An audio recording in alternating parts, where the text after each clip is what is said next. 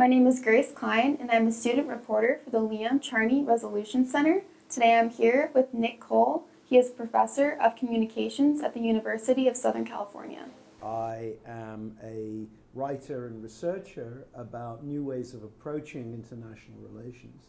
Uh, particularly, um, I emphasize the importance of dialogue, listening, and connecting governments to people and people to people rather than just governments to governments.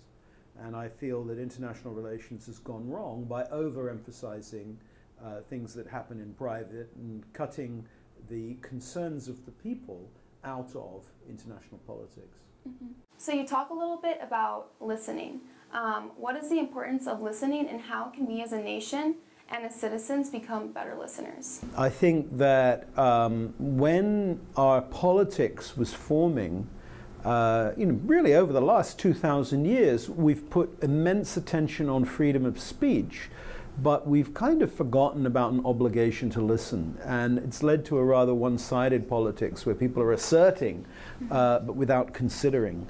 And so um, I think the minimal uh, thing we need to do is to consider the other person's point of view. If we hope our point of view will be considered by others, we have to give them the same uh, respect and inform ourselves ab about um, uh, you know, the, the, ideas and approaches of others. We can't assume that we're right. Mm -hmm. and what worries me is that sometimes when the United States has approached international dialogue, it does so from the position, the answer is America now, what's the question? And to be honest, the answer isn't America for every single question in the world. There are a number of different answers, and many other people uh, around the world uh, have their own ideas and their own countries and feel that they have.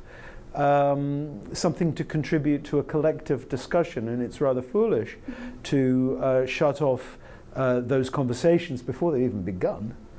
So, what is one piece of advice that you would give a student um, who is pursuing a field in international relations? Well, I think it's important that um, new diplomacy, public diplomacy, these things begin with listening. And so, almost always, we should be prepared in the first instance to listen. And that's not always a comfortable process. And I, I think that the, the follow on question from that is but how do I listen. And it's important to listen without necessarily having a category of answer in mind. Uh, and to listen in such a way that you're all the while giving feedback to the person you're talking to. So the act of listening becomes a kind of a co creation of meaning. So by this, what I mean is that you go out and you begin talking to people, you say, Is what you're saying that X? And they'll say, Not quite, it's more Y. And then you'll start to together build a, a process, uh, build a, a, a, shared understanding. And I think the more we're doing that, and particularly if you can connect to other people like yourself, find yourself or people like yourself in other communities, then we'll start to see how much we have in, in common with each other. And, and in time, that will build um, the, the kind of trust that's essential. Because, you know, I'm very struck looking out at the world how the problems we have transcend international boundaries. Kofi Annan, the Secretary General of the UN, used to say, uh, problems don't need passports, mm-hmm. right?